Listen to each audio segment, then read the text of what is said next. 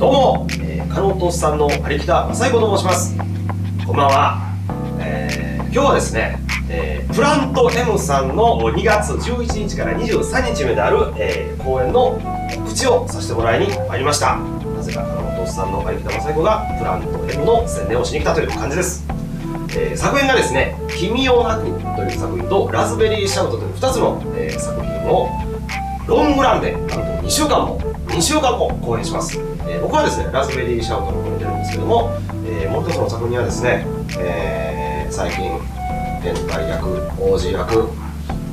妊婦役などさまざまな新しい扉を開いている野呂あさみさんも出演しますしぜひこちらの作品もあの楽しんでもらえたらなというふうに思います、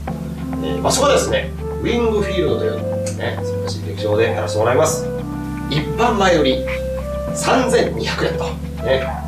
で高校生以下はなんと500円になるという、えー、すごくお得な公演ですね。で2本ありますけども、えー、2本をどちらも見ていただくとなんと55チケット55という意味で5500円になるという大変お得なチケットが販売されております。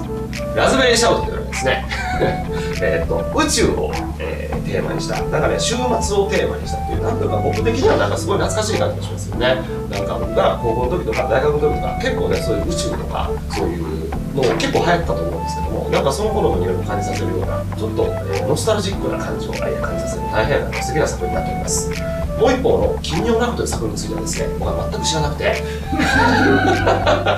全くわからないんですよ。合同稽古まだ始まっていなくて、えー、もうすぐ合同稽古が始まってそしたらねあの僕の作品の内容をあの知ることができると思うんですけどまだその時ではないという